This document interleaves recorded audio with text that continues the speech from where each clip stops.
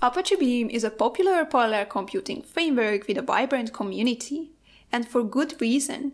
It proposes some great benefits over similar frameworks. I'm going to give you an overview of Apache Beam, and by the end of the video, you will hopefully have the skills that you need to write a simple pipeline. Apache Beam is an open source SDK of the Dataflow model. In order to understand Apache Beam, first we need to understand the Dataflow model.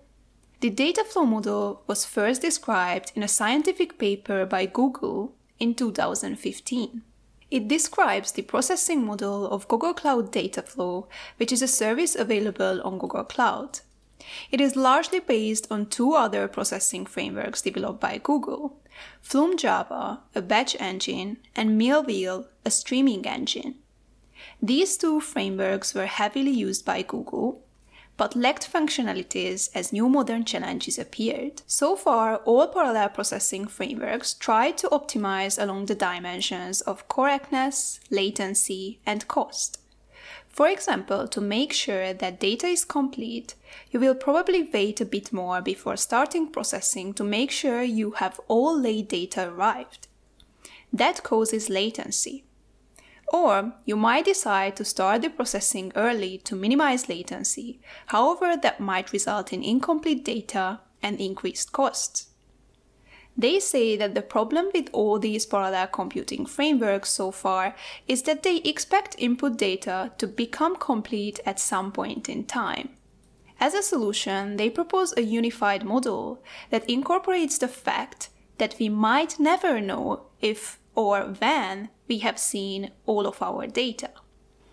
It is unified because it doesn't differentiate between unbounded and bounded datasets or streaming and batch processing. The Dataflow model is infrastructure agnostic, which means that it is able to run on different execution engines, making the choice of execution engine just a practical decision. Putting it all together, Apache Beam is the name of a set of open source SDKs that we developers use to interact with the Dataflow model. The Dataflow model is a unified parallel processing concept that enables execution engine agnostic processing. In the future, you will be able to code an Apache Beam pipeline in any language and run it on any execution engine. As of today, the supported languages are Java, Python, Go, and Scala, while the supported runners are Google Cloud Dataflow, Apache Flink, Apache Spark, Apache Hadoop MapReduce, JStorm, IBM Streams, and many more. Apache Beam's functionalities are not a union of its runners' functionalities. Apache Beam tries to incorporate the best of all runners. Alright, we have a high level idea about Apache Beam. Let's dive into the Dataflow model. The data flow model proposes innovative ideas in two areas windowing and triggering. What is a window anyway? In streaming data processing, in order to aggregate data, you need to group them in finite chunks. You cannot aggregate over an infinite dataset. Windowing is always time based, which means that we group data points based on when they happened or when we observe them in the system. When dealing with web analytics data, we consume events in a streaming pipeline. An event has a key, which is the user ID.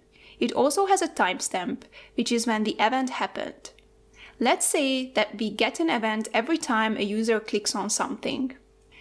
How could we window these data points? Simplest would be to create so-called fixed windows.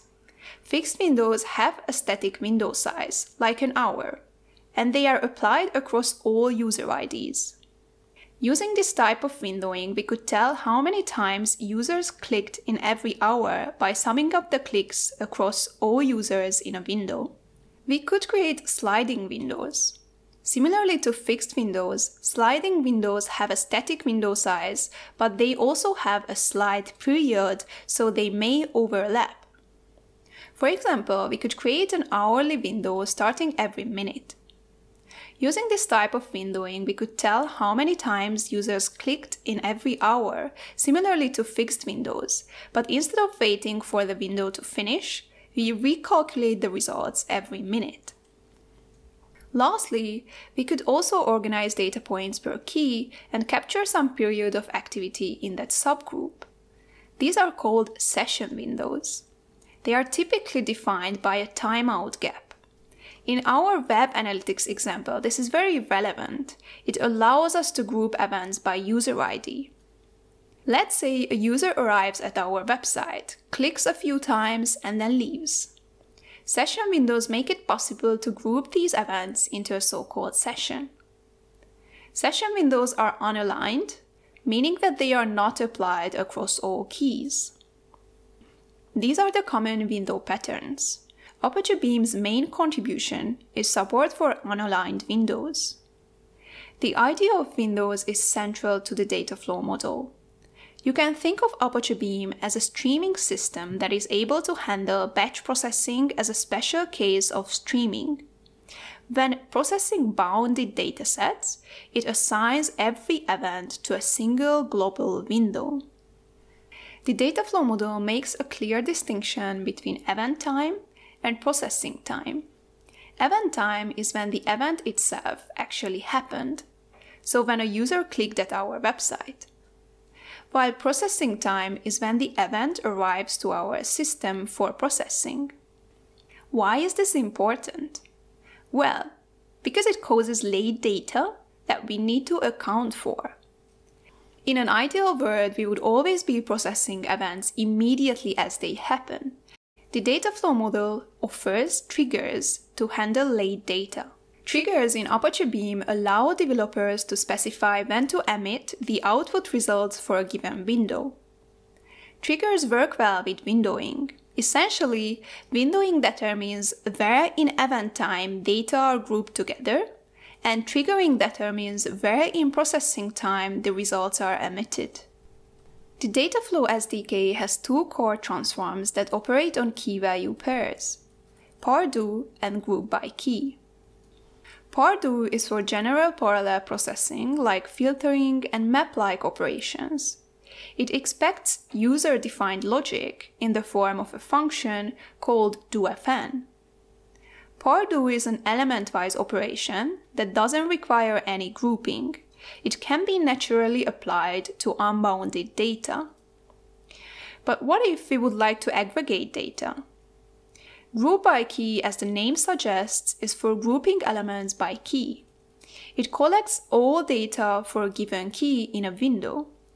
Alright, we learned a lot so far. Let's write our first pipeline.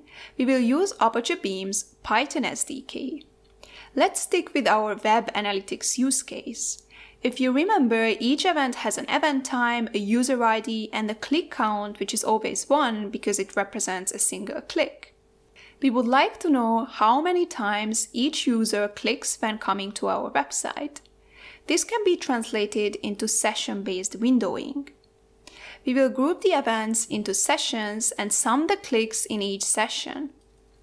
Let's imagine the following scenario. Four events arrive to our system from two users, with user IDs Andy and Sam. Events received from Andy happened at 1302, 1320 and 1357, while we got a single event from Sam which happened at 1314. We agree that if a user is inactive for at least 30 minutes, then we close a session. A session starts at 1302 for Andy when the first event happens. Another session starts for Sam when the second event happens at 1314. A third event arrives from Andy at 1320, which we can assign to session 1. At 1344, we hit the 30 minute threshold for session 2, so we close that session for Sam. At 1350, we hit the 30 minute threshold for session 1, so we close that session as well. At 1357, a new event was created by Andy, which we cannot assign to the first session, so we started a new session for him. No events came in, so we closed this session after 30 minutes. Based on this, we expect the following output. We expect three sessions, two for Andy and one for Sam. Alright, we know what to do in theory, let's code the pipeline. First, let's import some dependencies and create a pipeline. A pipeline encapsulates every operation. I created a dummy dataset with four events and three fields, user ID, click, and timestamp. The timestamp is in Unix format. This pipeline is technically a batch pipeline, but we could apply the exact same operations if we read from a streaming source. In the first operation, we need to assign the timestamp to the metadata of each element such that window functions can access and use them later. In order to do so, we create a user-defined function called dofn. This function can be applied parallel to each element. We transform each element into a tuple and assign the timestamp as metadata. The reason we create tuples is that later on we would like to group elements by user ID and we would like to use the first element of each tuple as key. We feed the created dofn to a pardo, which will run the function on each element. We are ready to window the data. We create session windows with a 30 minute gap size. Now we can group events in each window based on user ID and sum the clicks. As a last step, let's write the results into a file. Beam has a unified I.O. interface for all runners, which means that you can read and write local text files the same way you would read and write storage objects in S3 or Google Cloud Storage. Alright, our pipeline is finished. If we run the pipeline, we get a text file as output. We got what we expected, two sessions for Andy and one session for Sam.